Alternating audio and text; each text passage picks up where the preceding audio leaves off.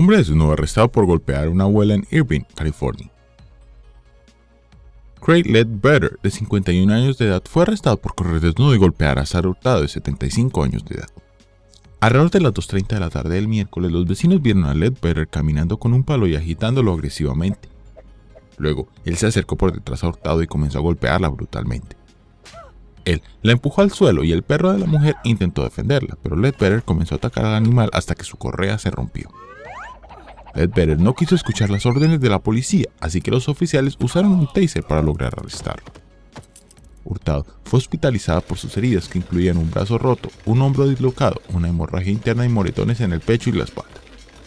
Ledbetter fue arrestado por asalto agravado, crueldad animal, abuso de ancianos y resistirse a un oficial de policía.